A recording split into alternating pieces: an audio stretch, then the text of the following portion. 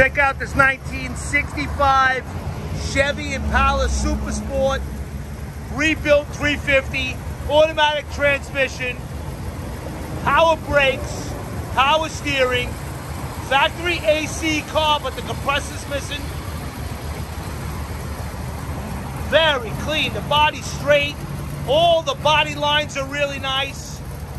Rally wheels, raised white letter tires. Love the 65 taillights. 350 sounds great. Bucket seats, center console. Factory buckets with a center console. All the right stuff. 1965 Chevy Impala, Hollywood Motors, USA.com. Check out all the pictures.